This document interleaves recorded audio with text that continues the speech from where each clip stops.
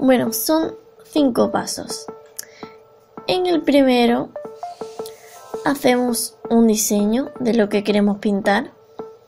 En el paso número 2 vamos a utilizar un folio donde marcaremos con un rotulador el dibujo que previamente hemos hecho o buscado o lo que hagáis.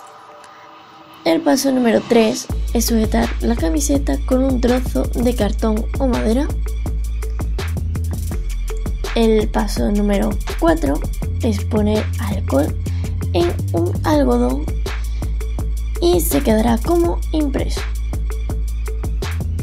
Y por último, el quinto, eh, ya podemos pintarla utilizando pinturas acrílicas textiles.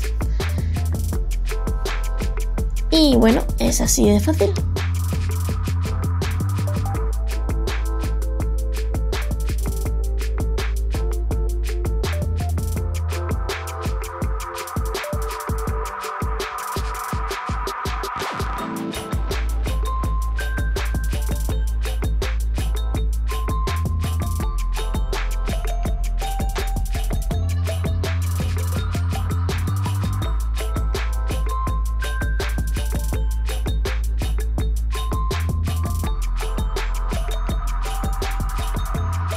Crear muchas locuras y hasta el próximo vídeo.